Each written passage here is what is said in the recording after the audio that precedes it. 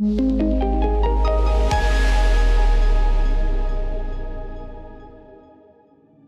everyone. My name is Jennifer Rogg, a part of Canada International Student Magazine. I'll be introducing you as Abby Eyking, who is a student at Munro Academy, as well as interviewing Louise Favaro. Yes. Okay. So, as you said, my name is Abby Eyking, and I'm a grade 10 student here at Munro. Um, I'm a huge fan of the beach, and I love ice cream. And I've been going to Munro since September 2022. Why did you decide to pursue the IB Medical Sciences pathway? Um, I chose this particular aspect of the IB program because ever since I was a little girl, I knew I wanted to help others, and I always thought being a doctor or something in the medical field was a perfect way I could do so.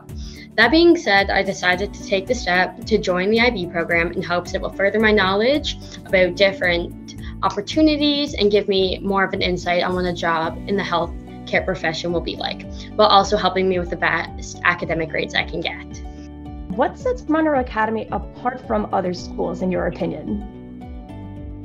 There are many things that make Munro the best place for me, but some of the reasons are that it not only has a 1 to 9 ratio of teachers to students, so everyone gets the help they need, lots of opportunities, and a good understanding of all the material that is being taught. Also, the teachers and staff care so much about the students' well being, whether that be if someone has something going on at home, if someone needs a little help, or even just a break. Munro has more than just a great academic program, but also has many fun activities such as class clash events.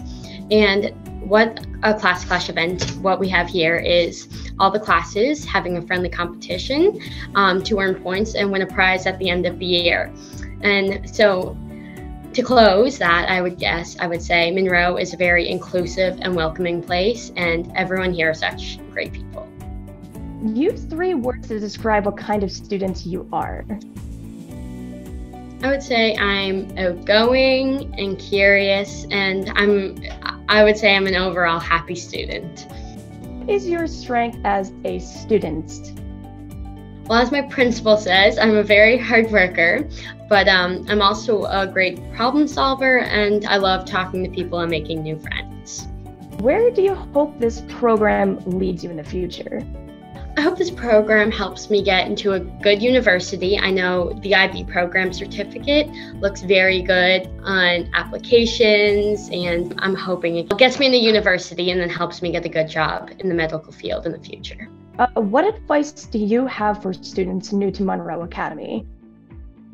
My advice would be just to put yourself out there and ask lots of questions. There's great people here that will answer all of them, talk to new people, and that high school goes by very quick. So just to make the most of it. Um, so uh, we would like to transition to Miss Louise Favaro, who is the IB program coordinator. Uh, hello, Louise. Thank you Hi. very much for being here. What are the advantages of the IB program for international students? So, the IB is a globally recognized educational community and it represents nearly 2 million students in 160 countries. It is internationally oriented education. It encourages international mindedness. It works within global contexts. It includes learning of languages and promotes awareness of cultures. It explores globally significant ideas and issues. And it prepares students to be active participants in a global society. Um, the global nature of IB eases the transition for students who move frequently from school to school or from one country to another. And it's internationally recognized, which is an advantage for international students applying to universities anywhere in the world. What makes Munro Academy's IB program unique? Well, we're the only school offering the career related CP program in the region, and there's only a few in the country. Um, I'm providing a visual that will show you our program at a glance. Um, students choose one of four great pathways which Munro Academy has selected that's appropriate to our region. So we've got business management, childhood development, international students, and as Abby said, medical sciences. And so students gain work experiences over two years in one of these four areas. And they take two IB courses, and they also take one or two dual enrollment university courses. They complete 25 hours a year of service learning within the community, and they learn a new language as well. And the overall experience provides the graduates with well rounded academic and applied experience and sets them apart, giving them amazing, amazing university entrance options. And we're also a private school, which means we have more flexibility with time and support needed for all students. We have a better student teacher ratio. As Abby said, we have small class sizes. And the school has a Christian worldview, which fits beautifully with IB philosophy. And, and our overall environment is warm, relaxed, accepting, and even character building. How does the IB program help uh, prepare students for university? So it's academically rigorous and it helps students develop a unique set of skills and attitudes and perspectives needed to succeed in university and in life beyond. Students learn more efficiently and independently, and that allows them to become more confident and that means they're more likely to perform well academically and often they they're better prepared than students that come to university from other programs it certainly increases the chances of getting into the university of choice and the work placements allow students to apply learning to real world settings and that's also a plus um, munro ib graduates have completed university courses so they're already ahead of the game because they've taken a couple and IB students typically find their first year of university much easier than non-IB students. You can always pick them out. They're they're ready to go. They've done so much in their program that when they get to first university, they usually do really well compared to other students. What study paths can the IB uh, CP program lead to? So it's a broad program. It can lead to university and also to other post-secondary institutions. It could even lead, lead to apprenticeships and students could actually just work, simply work, because of the work experience they've already achieved.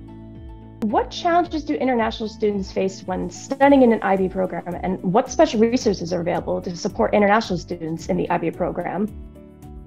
So, certainly, international students are adapting to a new country, new culture, new school, which is often different from the student's previous school in terms of curriculum, philosophy, and overall approach.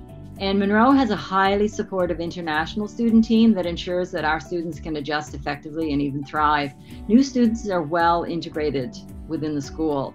Um, learning English is another challenge, but uh, Munro Academy has a really good, robust ELL support, up to 80 minutes a day by trained ELL teachers.